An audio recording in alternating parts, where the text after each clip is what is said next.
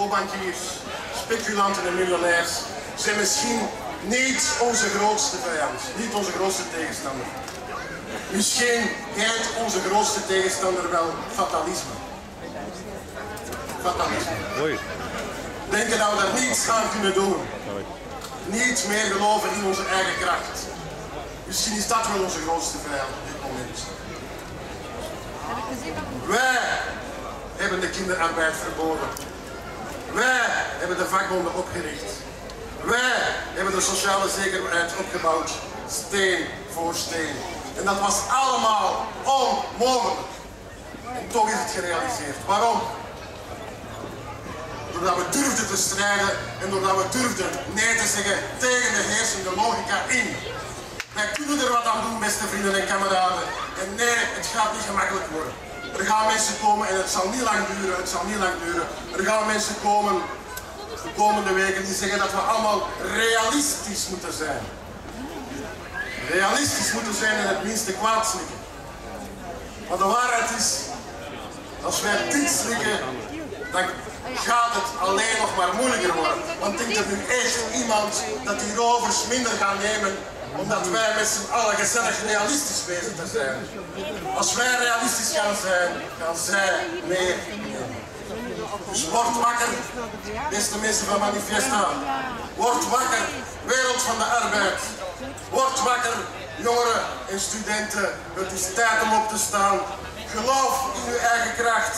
Organiseer u en vecht terug.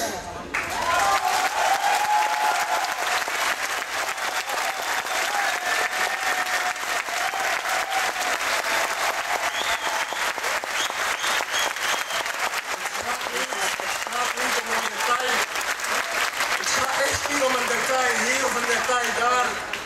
Het gaat om de toekomst. Het gaat erom dat iedereen recht zou moeten hebben op een menswaardige job.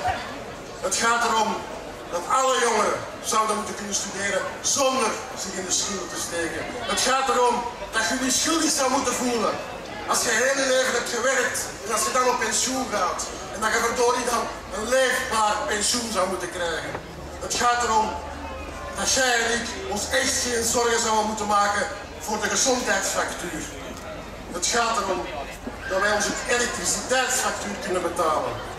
Het gaat erom dat iedereen kan leven en in een goede huis bedoel ik dan. Het gaat erom dat de justitie de mensen beschermt tegen de vriendjespolitiek in plaats van vriendjespolitiek te doen. En dat de justitie de mensen beschermt tegen de corruptie, tegen de uitbuiting en tegen alle mistoestanden. Het gaat erom dat er geen racisme meer is, dat er geen discriminatie meer is en geen geweld. Het gaat, beste vrienden, om een heel andere samenleving. Et certains gens appellent ça rêver. Mais si tout ça, si tout ça, ce sont des rêves. Si tout ça, ce sont des rêves, rêvons que nos enfants puissent grandir dans une société qui est réellement juste. Rêvons puissent grandir, dans une société qui ne tourne pas autour des dividendes d'une élite, qui ne tourne pas autour des profits de la guerre et du pétrole, mais qui partent de la participation de tout le monde, des droits collectifs, de la paix, une société socialiste camarade.